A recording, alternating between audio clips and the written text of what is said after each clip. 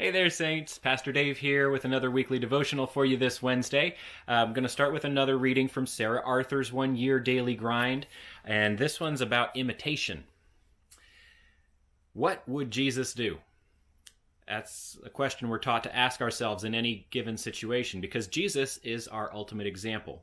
And on a certain level, it's an important question because it trains us to pause and think before we act but the problem is, we're so disconnected from Jesus most of the time that we actually have to pause and think. Our instincts are all messed up. Society has conditioned us to follow our naturally self obsessive habits to the point that a Christ like response doesn't even register on our behavioral radars. But the goal of the Christian life isn't simply to acknowledge that Jesus died for our sins so we can go to heaven. The goal of the Christian life is to gradually transform our very beings so that we instinctively act and think and talk like Jesus. We spend so much time with him and with his people that we no longer have to stop and ask ourselves, what would Jesus do? We simply do it. We put our own petty differences and preferences and small desires aside so Jesus can shine through us. The Apostle Paul wrote, Imitate God, therefore, in everything you do, because you are his dear children. That verse calls to mind a young child who wants to be big and strong just like dad. I picture a toddler wanting to use grown up sized spoons and eat at the table like everyone else. Or a little girl clomping around in her mommy's shoes and holding a cell phone to her ear. Paul is saying we should imitate God in this way. God is our hero, our parent, our favorite person in the whole wide world. We should want to be just like him when we grow up.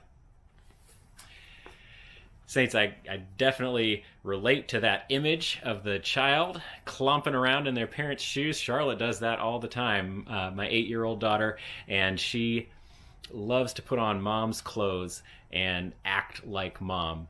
Uh, psychologists tell us that this is actually uh, part of growing up. This is this is one of our mental tools that we use to mature. Is is imitation. Is acting like someone else who we admire and trying on their life, trying on their habits, doing the things that we see them doing, seeing if that works for us, if that you know speaks to us about who we want to be and what we want to do.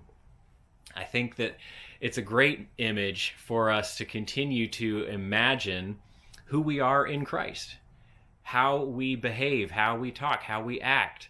Uh, that that what would Jesus do question uh, it's one that I grew up being being uh, prompted to think about, um, and I even had one of those WWJD bracelets for a number of years in high school.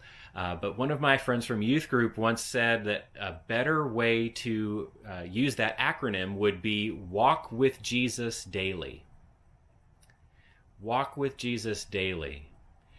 Because if we do that, if we follow after Jesus, if we pattern our lives after him and, and continually stay close to him, just as Sarah is talking about, we get better at imitating him without having to think about it, without having to stop and ask the question of ourselves, how would Jesus respond to this?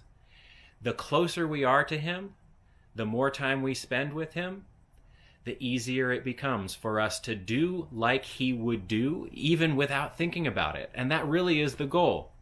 I think it was a great point that she brought up that it's, it's, our faith is not about uh, having our sin forgiven, going to heaven you know that's certainly part of what christianity means but the bigger much bigger part of it is training us to become more like our savior more like our shepherd.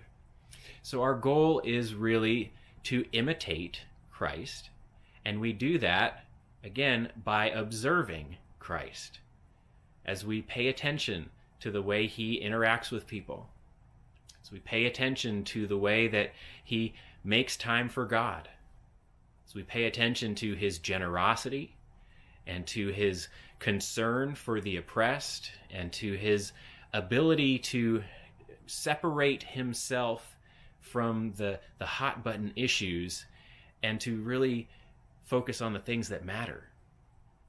How about we try to imitate Christ and walk with him daily rather than just think about it from time to time? You know, what would Jesus do? That's your devotional this week, Saints. I hope it's helpful and worth thinking about. I hope you're doing all right and staying healthy. And I'll be praying for you. Please keep praying for me. I'll see you again. Take care, Saints.